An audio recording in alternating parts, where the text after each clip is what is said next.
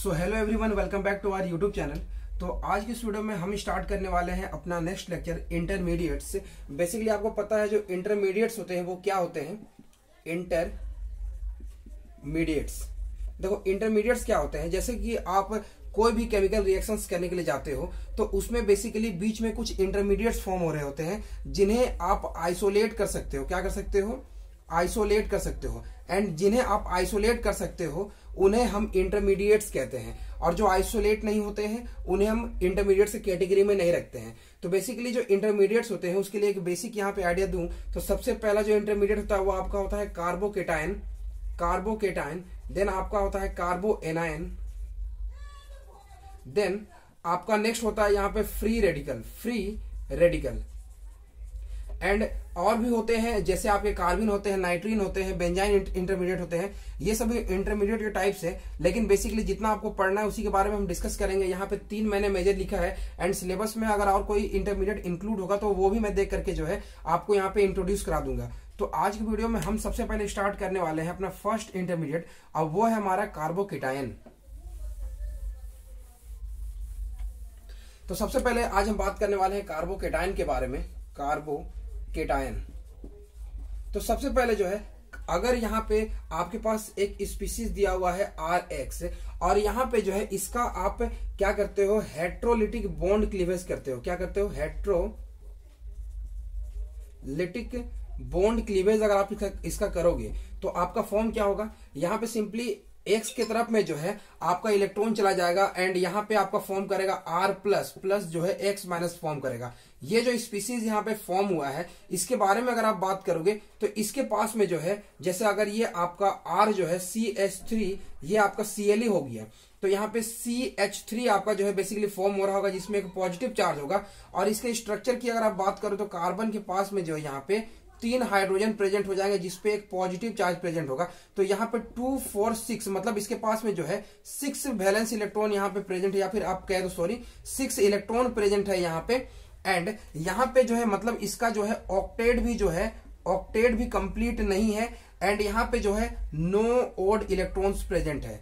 मतलब यहाँ पे दो तीन पॉइंट हमें इससे क्लियर होता है कि ये आपका इलेक्ट्रॉन डेफिशिएंट है। दूसरा ये क्या है कि इसका ऑक्टेट जो है कंप्लीट नहीं है एंड इसके पास में कोई भी ओड इलेक्ट्रॉन नहीं है मतलब इवन यहाँ पे इलेक्ट्रॉन प्रेजेंट है। ये तीन चार पॉइंट्स जो है हमें यहाँ से मिलते हैं। अब तीसरा इंपॉर्टेंट क्या है कि जो आपका सी एच थ्री पॉजिटिव है सी एच थ्री पॉजिटिव है, इसकी हाइब्रेशन की अगर आप बात करोगे तो इसका हाइब्रेशन होने वाला है आपका यहाँ पे आप हाइब्रेशन के लिए सबसे पहले क्या करोगे स्टेरिक नंबर निकालोगे तो स्टेरिक नंबर के लिए मैंने आपको फॉर्मुला बोला था one by two into carbon का वैलेंस इलेक्ट्रॉन कितना होगा यहाँ पे वैलेंस इलेक्ट्रॉन आपका फोर हो जाएगा एंड उसके बाद में यहाँ पे कोई भी यहाँ पे लोन पेयर वगैरह प्रेजेंट नहीं है यहाँ पे जो है आपका यहाँ पे टोटल जो सिग्मा बॉन्डिंग यहाँ पे कितने कर रहे हैं तीन हाइड्रोजन कर रहे हैं यहाँ पे तो यहाँ पे आपको जो है थ्री इलेक्ट्रॉन इसके जोड़ लेने हैं और यहाँ पे एक पॉजिटिव है तो इसमें एक माइनस आपको कर लेना था तो टोटल जो है यहाँ पे वन बाय टू इंटू जो है आपका सिक्स यानी जो है आपका थ्री आ रहा है मतलब ये हाइब्रेशन जो है, इसका sp2 है। मैंने यहाँ पे बेसिकली हाइब्रेशन भी जो है यहाँ पे कैलकुलेट कर लिया तो इसका हाइब्रेशन जो है, आपका आ रहा है sp2 हाइब्रेशन आ रहा है। मतलब कार्बोकेटाइन जो यहाँ पे फॉर्म हो रहा है, उसका हाइब्रेशन जो है sp2 हो जाता है। मतलब जो है इसकी, अगर आप यहाँ पे ज्योमेट्री की बात करोगे तो ज्योमेट्री भी जो है, आपका इसका ट्राइगोनल जो है ट्राइगोनल प्लेनर ज्योमेट्री आने वाली है। ठीक है? यहाँ पे हम थोड़े से इसके जो भी स्टीरो सॉरी स्टीरो नहीं, इसका जो भी ज्योमेट्री शेप वगैरह के बारे में जो है हम यहाँ पे बात कर लेते हैं। अब यहाँ पे कुछ इंपॉर्टेंट पॉइंट्स के बारे में जो हम यहाँ पे बात करेंगे, जो भी अभी हमने यहाँ पे सीखा है। तो उसी के बारे में हम बात करते हैं। एक एक करके जो है सारे पॉइंट्स हम यहाँ पे नोट्स करते हैं। तो सबसे पहला पॉइंट यहाँ पे मैंने अभी क्या बताया, जो आपका ये सी एच थ्री पॉजिटिव होता है तो ये इसका जो है हाइब्रेशन जो है आपका एस पी टू हाइब्रेशन होता है। क्या होता है? Sp2 हाइब्रेशन होता है।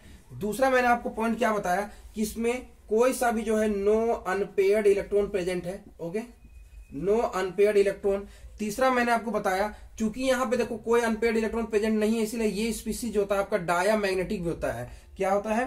डाया मैग्नेटिक भी होता है, ठीक है? ओके ये आपका डाया मैग्नेटिक स्पीसीज होता है। थर्ड इंपॉर्टेंट पॉइंट यहाँ पे क्या है? अब यहाँ पे देखो, अगर यहाँ पे कोई अनपेड इलेक्ट्रॉन प्रेजेंट नहीं है तो ये ई एस आर इनएक्टिव होता है, जो कि आप आगे जाके पढ़ोगे, ये अभी आपके वर्क के लिए नहीं है बट एक जानकारी के लिए रख लेना। अगर यहाँ पे कोई सा भी अनपेड इलेक्ट्रॉन प्रेजेंट नहीं होता है तो ये ई एस आर इनएक्टिव हो जाता है। अगर यहाँ पे अनपेड इलेक्ट्रॉन प्रेजेंट होता तो ये एक्टिव हो जाता बट यहाँ पे अनपेड इलेक्ट्रॉन नहीं प्रेजेंट है सिक्स इलेक्ट्रॉन है, जो कि तीनों पेयर्ड होंगे। इसीलिए ये जो होगा, आपका ई एस आर यहाँ पे इनएक्टिव हो जाएगा। नेक्स्ट पॉइंट यहाँ पे क्या है? और वो चौथा पॉइंट है आपका, इसमें जो है ऑक्टेट इनकम्प्लीट है। ऑक्टेट इनकम्प्लीट है। नेक्स्ट उसका पॉइंट क्या है कि इसका जो सेप है सेप मैंने बताया इसका सेप होगा ट्राइगोनल ट्राइगोनल प्लेनर सेप होता है इसका। ठीक है? और इसके पास में जो है सिक्स पॉइंट क्या है? एम्प्टी यहाँ पे जो है ऑर्बिटल होगा। जैसे इसके ऑर्बिटल सेप के बारे में अगर आप बात करोगे, यहाँ पे सी एच थ्री पे जो है पॉजिटिव है तो मतलब इसके पास में जो है कहीं ना कहीं एक एम्पटी जो है पी और ऑर्बिटल प्रेजेंट होगा, जिसपे जो है ये लोन पेयर ऑफ़ इलेक्ट्रॉन जो है एक्सेप्ट कर सकता है। तो इसीलिए हम कहते हैं इसके पास में जो है एक एम्पटी जो है पी और ऑर्बिटल प्रेजेंट होता है, जिसपे जो है ये lone pair of electron accept कर सकता है। इसीलिए हम कहते हैं act as a electrophile electrophile. मैंने आपको ऑलरेडी बताया था इलेक्ट्रोफाइल किसे कहते हैं, जो lone pair of electron accept कर सकता था। तो यहाँ पे जो है कार्बोकेटाइन आपका इलेक्ट्रोफाइल का जो है एक टाइप हो जाता है। अब यहाँ पे जो कार्बोकेटाइंस भी होते हैं, उसके बारे में अगर हम बात करें तो ये भी आपके कार्बोकेटाइन भी जो है टू टाइप्स के होता है। वो कैसे? तो सबसे पहले जो है यहाँ पे, अभी मैंने यहाँ पे जस्ट आपको बताया कि इसमें जो है सिक्स बैलेंस इलेक्ट्रॉन यहाँ पे प्रेजेंट मतलब ये बॉन्डिंग के साथ में जो है टोटल सिक्स इलेक्ट्रॉन्स यहाँ पे प्रेजेंट थे। बट अभी मैं ऐसा कार्बोकेटाइन आपको दिखाऊँगा जिसमें जो एट इलेक्ट्रॉन होंगे। वो कैसे? तो यहाँ पे टाइप्स ऑफ़ कार्बोकेटाइन की अगर आप बात करो तो बेसिकली जो है, आपने इसे ज़रूर ऑब्ज़र्व किया होगा क्लास ट्वेल्व में। इसमें दो तरह के कार्बोकेटाइन होते हैं। जो आपका होता है, पहला होता है, वो आपका होता है क्लासिकल कार्बोकेटाइन क्लासिकल कार्बोकेटाइन और दूसरा होता है आपका नॉन क्लासिकल कार्बोकेटाइन अब देखो classical and non classical carbocations क्या होते हैं? क्लासिकल जो अभी बेसिकली आपने देखा, जो सी एस थ्री पॉजिटिव होता है ये आपका क्लासिकल कार्बोकेटाइन हो गया। बट एक और टाइप का कार्बोकेटाइन होता है, जैसे आपने C H two double bond C H two के साथ में जो है, अगर आप रिएक्शन कराएँ जब बी आर टू का तो इसमें बेसिकली आपका क्या फॉर्म होता था? सी एच सी एच यहाँ पे टू एंड यहाँ पे एक ब्रोमीन आ गया, और इस पे जो है आपका एक पॉजिटिव चार्ज फॉर्म होता था। ये भी आपका एक तरह का कार्बोकेटाइन है, जिसे हम नॉन क्लासिकल कार्बोकेटाइन कहते हैं।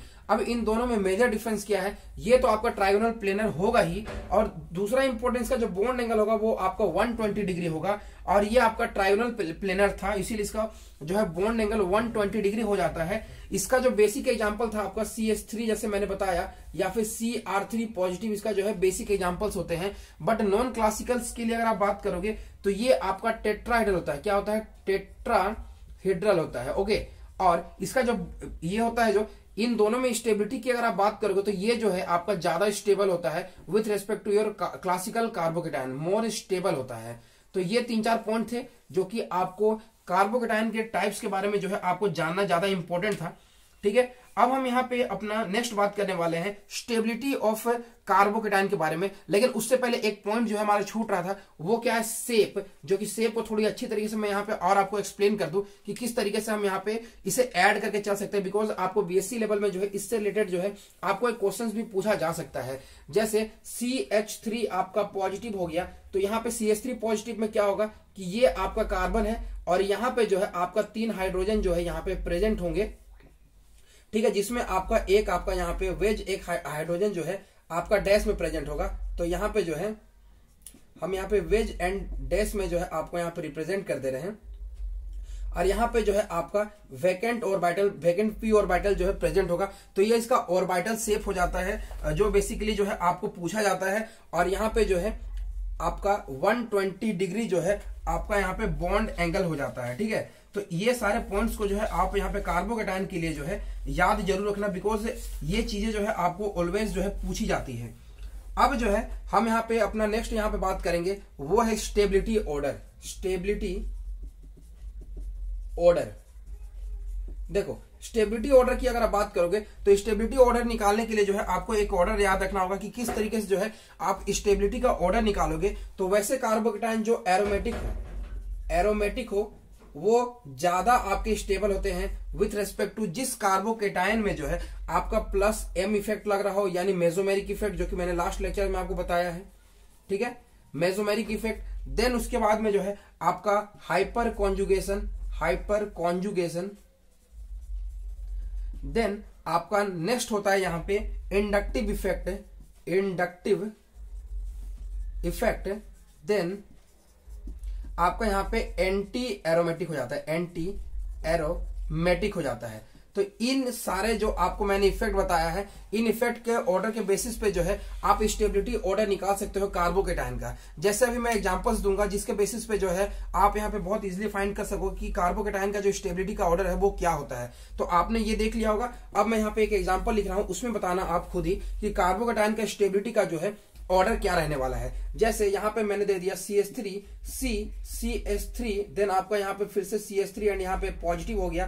फिर से हमने ले लिया C S three carbon C S three यहाँ पे हाइड्रोजन एंड यहाँ पे पॉजिटिव देन आपका C S three C H two अब पॉजिटिव यहाँ पे आ गया। इन तीनों में स्टेबिलिटी ऑर्डर की अगर आप बात करोगे तो यहाँ पे देख सकते हो कि यहाँ पे इस कार्बोकेटाइन के रेस्पेक्ट में तीन यहाँ पे अल्फ़ा कार्बन प्रेजेंट है यहाँ पे दो अल्फ़ा कार्बन प्रेजेंट है यहाँ पे एक अल्फ़ा कार्बन प्रेजेंट है मतलब यहाँ पे टोटल थ्री थ्री थ्री यानी जो है नाइन अल्फ़ा हाइड्रोजन प्रेजेंट है यहाँ पे जो है सिक्स अल्फ़ा हाइड्रोजन प्रेजेंट है यहाँ पे थ्री अल्फ़ा हाइड्रोजन प्रेजेंट है मतलब यहाँ पे नाइन अल्फ़ा यहाँ पे सिक्स अल्फ़ा यहाँ पे थ्री अल्फ़ा प्रेजेंट है मतलब यहाँ पे जो है आपके नाइन हाइड्रोजन का जो है यहाँ पे हाइपर कॉन्जुगेशन लग रहा होगा हाइपर कॉन्जुगेशन लग रहा होगा और यहाँ पे सिक्स हाइड्रोजन का लग रहा होगा, यहाँ पे थ्री हाइड्रोजन का। अभी जस्ट मैंने बताया आपको कि aromatic then hyperconjugation sorry mesomeric then hyperconjugation then inductive effect तो यहाँ पे आपने देखा है कि इसका जो है हाइपर कॉन्जुगेशन ज़्यादा है तो मतलब कहीं ना कहीं ये आपका ज़्यादा स्टेबल होगा देन ये आपका ऑर्डर रहने वाला है। बिकॉज़ यहाँ पे nine then six then three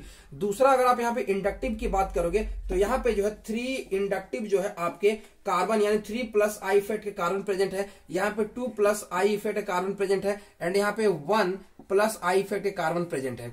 इसीलिए जो है स्टेबिलिटी और, और यहाँ पे जो ऑर्डर रहने वाला है कार्बोकेटाइन का वो भी आपका यही रहने वाला है। और यहाँ पे देखो तो ये थ्री डिग्री कार्बोकेटाइन है ये आपका टू डिग्री कार्बोकेटाइन है एंड ये आपका वन डिग्री कार्बोकेटाइन है। और इसी में एक और हम ऐड कर लेते हैं वो होता है मिथाइल कार्बोकेटाइन तो बेसिकली ये आपका कार्बोकेटाइन का जो है ओवरऑल जो है ऑर्डर होता है। अब हम दूसरा यहाँ पे बात करने वाले हैं जो एग्ज़ाम्पल हमारा यहाँ पे है बेंजाइलिक कार्बोकेटाइन और एक एग्ज़ाम्पल लेंगे सीपीएम यानी साइक्लोप्रोपाइल मिथाइल कार्बोकेटाइन के बारे में। जैसे आपको यहाँ पे दिया हुआ है एग्ज़ाम्पल में, जो कि है आपका यहाँ पे सी एच टू यहाँ पे पॉजिटिव देन मैंने यहाँ पे ले लिया है आपका यहाँ पे पॉजिटिव तो ये जो होता है, आपका ये सीपीएम होता है साइक्लोप्रोपाइल मिथाइल कार्बोकेटाइन और ये जो होता है आपका बेंजाइलिक बेंजाइलिक कार्बोकेटाइन इसे मैं पूरा नाम लिख लू साइक्लो प्रोपाइल मिथाइल केटायन तो इन दोनों में स्टेबिलिटी ऑर्डर की बात करोगे तो यहाँ पे एक बेसिक जो है, आप इसे एक्सेप्शन कह लो या फिर एक बेसिक जानकारी के बेसिस पे ले लो कि ये जो कार्बोकेटाइन प्रेजेंट होता है, इसके स्टेबिलिटी की अगर आप बात करोगे तो आप यहाँ पे देखोगे इसके स्ट्रक्चर के बेसिस पे तो यहाँ पे ऑर्बिटल स्ट्रक्चर से आप ये चीज़ समझ सकते हो कि ये जो दोनों कार्बन के बीच में जो बॉन्डिंग होती है और यहाँ पे जो कार्बोकेटाइन के बीच में जो वेकेंट ऑर्बिटल प्रेजेंट है, इनके बीच में इंट्रैक्शन होता है और इंट्रैक्शन कारण ये बॉन्ड जो है ब्रेक हो जाता है। और ये जो ब्रेकिंग ऑफ़ बॉन्ड होता है, इसे हम कहते हैं डांसिंग रेजोनेंस क्या कहते हैं? डांसिंग रेजोनेंस और इस डांसिंग रेजोनेंस के कारण जो है, ये वाला जो कार्बोकेटाइन होता है, ये आपका बेंजाइलिक कार्बोकेटाइन से भी जो ज़्यादा स्टेबल हो जाता है। इसलिए इस केस में जो सीपीएम होता है, वो आपका बेंजाइलिक कार्बोकेटाइन से ज़्यादा स्टेबल होता है। और ओवरऑल कार्बोकेटाइन की स्टेबिलिटी की अगर आप बात करोगे तो उसमें सीपीएम कार्बोकेटाइन जो है सबसे ऊपर में आता है। मतलब आपको कोई भी कार्बोकेटाइन का एग्ज़ाम्पल दिया हुआ है और उसमें आपको अगर कहीं ना कहीं सीपीएम कार्बोकेटाइन मिल रहा होगा तो सीपीएम कार्बोकेटाइन जो है सबसे ज़्यादा जो है उस केस में स्टेबल रहने वाला है। अभी यहाँ पे और दो एग्ज़ाम्पल ले रहा हूँ, उसमें आप स्टेबिलिटी ऑर्डर की बात करोगे कार्बोकेटाइन के बारे में तो आपको और अच्छी तरीके से जो है यहाँ पे क्लियर होने वाला है। वो एग्ज़ाम्पल क्या है? अभी मैं यहाँ पे एग्ज़ाम्पल लेता हूँ इस तरीके से आपका, जिसमें जो है आपका तीन यहाँ पे सीपीएम ग्रुप प्रेजेंट है, ठीक है? यहाँ पे पॉजिटिव हो गया। अब यहाँ पे जो है आपका दो सीपीएम ग्रुप प्रेजेंट है। देन यहाँ पे जो है एक सीपीएम ग्रुप प्रेजेंट है। अब इन तीनों में स्टेबिलिटी ऑर्डर की बात करोगे तो याद रखना जितना ज़्यादा सीपीएम ग्रुप होगा, उतना ज़्यादा कार्बोकेटाइन की स्टेबिलिटी होगी। तो यहाँ पे जो है तीन सीपीएम ग्रुप प्रेजेंट है, यहाँ पे दो प्रेजेंट है, यहाँ पे एक प्रेजेंट है। तो स्टेबिलिटी ऑर्डर जो है आपका, ये रहने वाला है कार्बोकेटाइन का स्टेबिलिटी ऑर्डर तो ये सारे एग्जाम्पल्स को जो है आप याद रखना। अब कुछ ऐसे कार्बोकेटाइन के बारे में बताने वाला हूँ, जो कि बेसिकली फॉर्म नहीं होना चाहते, वो अनस्टेबल बहुत ज़्यादा होते हैं। तो यहाँ पे जो है, हम बात करने वाले वैसे कार्बोकेटाइन जो एक्चुअल एग्जिस्ट नहीं होना चाहते, जिसमें जो है हाईली अनस्टेबल कार्बोकेटाइन की बात करें तो H C triple bond C positive ये आपका फॉर्म नहीं होना चाहता है। देन दूसरा आपका होता है C H two double bond C H way positive and तीसरा इंपॉर्टेंट जो है यहाँ पे आपका कुछ इस तरीके से पॉजिटिव ये तीनों जो है बहुत ज़्यादा जो है आपके अनस्टेबल कार्बोकेटाइन होते हैं। अब दूसरा हम यहाँ पे बात करें, जो कि ब्रेड्स रूल के अकॉर्डिंग होता है। B R E D T एट्स Bredt's rule के अकॉर्डिंग यहाँ पे देखो, ये ये कहता है कि ये रूल के अकॉर्डिंग ब्रिजेड कार्बन पे जो है ब्रिज हेड कार्बन पे जो है कार्बोकेटाइन जो है अनस्टेबल होता है। अनस्टेबल होता है। जैसे इसका एग्जांपल हो गया आपका, कुछ इस तरीके से आपका एक नोर नोरबोरन सिस्टम प्रेजेंट है यहाँ पे। ये आपका नॉर्बन सिस्टम है और यहाँ पे अगर आपका एक कार्बोकेटाइन किसी ने दे दिया है तो ये बहुत ज़्यादा अनस्टेबल होता है। तो ये कभी भी फॉर्म नहीं होना चाहता है, ठीक है? ये कभी फॉर्म नहीं होना चाहता है। ये बहुत ज़्यादा जो है, आपका कार्बोकेटाइन अनस्टेबल होता है। तो इस चीज़ को आप याद रखना कि ये कार्बोकेटाइन कभी फॉर्म नहीं होगा। जैसे आपको कभी रिएक्शन दे दिया गया कि ये रिएक्शन फेवरेबल होगा या नहीं होगा, इस तरीके से यहाँ पे ब्रोमिन दिया हुआ है। और इसको जो है ए जी एन ओ थ्री दिया हुआ था। तो यहाँ पे जो है, क्या ये कार्बोकेटाइन जो है, ये रिएक्शन जो है फेवरेबल होगा या नहीं होगा? तो यहाँ पर डायरेक्ट बोल देना, ये रिएक्शन नॉट फेवरेबल बिकॉज़ यहाँ पे ये कार्बोकेटाइन फॉर्म नहीं होना चाहेगा।